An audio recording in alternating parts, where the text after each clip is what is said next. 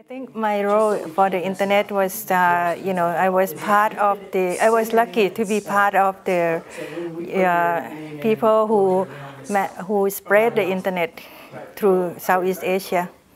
Uh, you know, like I was the first one, I, I brought uh, internet to Thailand. That was uh, the, the reason why uh, I've been recognized. That was more than 25 years ago. So at that time, uh, nobody knew uh, about the internet or the, you know, even uh, uh to use the, the um, existing uh, telephone for email. That type of uh, technology was totally new. So uh, introducing technology to, uh, to a country which was not aware of uh, the possibility was not easy. It was very, very tough to do. And uh, once uh, people started to know about, you know, this new technology, uh, the ex existing telecommunication operator were afraid of the impact on their business. So uh, we had to all the time try to live with that under that condition, which is not easy. so that was the, the challenging part of our task to be able to um, introduce the technology to the public and at the same time we need to uh, be able to uh, work out with the telecommunication operator that uh, we have to look into it for the benefit of the whole country instead of you know looking at their business alone. I always see the internet as sunny, and um, I, you know. Uh, there are so many exciting things that happened throughout this the past 20 over you know almost 30 years for me and it's always sunny even though there's many challenging problems, something that there's a lot of issues that you never looked at before. And the internet, when once you have internet technology coming in, you started to ask yourself and try to clarify to, with yourself, you know, what kind of uh, the, you know, the impact of the internet and made you, which made you understand your society even better. So I always uh, this uh, positive, uh, in a positive point of view, and I think it's always sunny. I, as it is sunny, um, I don't fear anything. I like the sun. so, uh, because uh, I think, uh, you know, whatever, you know, whatever technology you, you bring in, there's always a negative side of that. And if you start uh, fearing that negative aspect, uh, and which you kind of, um, which prevent you from doing any uh, other interesting things, uh, I think you are, you know, you are not going the right track.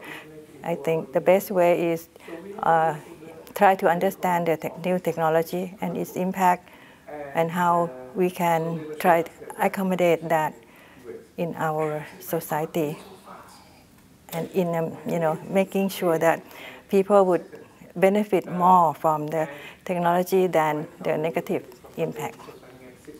Our greatest hope is that I want the internet to be, you know, I, I would like everybody to be able to access the internet and, you know, as cheapest or you know, as, as a basic infrastructure for all.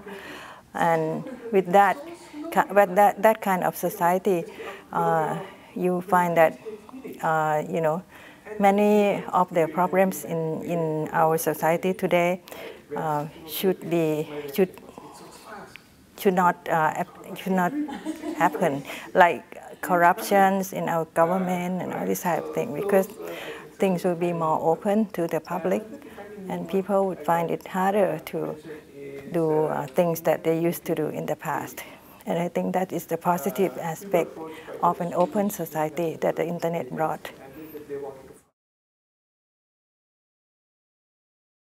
Right now, as you could see, that there are many uh, organizations that try to, uh, you know, to address the issue of internet and society, like uh, Internet Governance Forum and uh, even uh, on the uh, resources of the internet by the organization like ICANN and so on.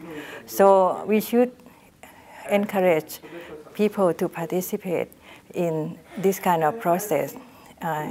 the, the you know, this kind, this type of uh, organizations are new, and they are the model of the multi-stakeholder model is new, and it is something we should try to make it work.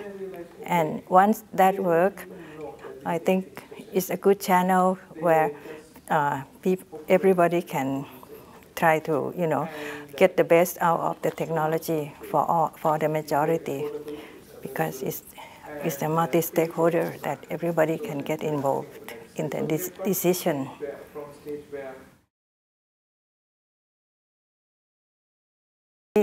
Uh, at the moment, I'm just a normal professor in computer science, and you know, I uh, I conduct, um, I lead a research group that uh, concentrate on uh, uh, networking in uh, disaster, post-disaster environment. This type of uh, activity, uh, which is uh, trying to provide answers to, you know, the upcoming Uh, natural, uh, the more frequent uh, natural disaster that's in, occurring in our region at the moment. So I think that is my role. I don't focus, I don't try to project um, anything much longer. I just concentrate on my today's interest, and that is what I'm doing. I don't know whether I answer your question. Um, I guess is there anything else uh, mm -hmm. you'd like to add about what you think is going to be the future of the internet? Um, that the future of the internet for me is um, uh, I could not say anything uh, specific, but to me, uh, as I I kept telling you, I can I see the internet, at, you know, it's always sunny. So uh, to me, future the internet is still sunny, and people, uh, if the all this kind of uh, multi-stakeholder model works well, I think uh, we are on the right path.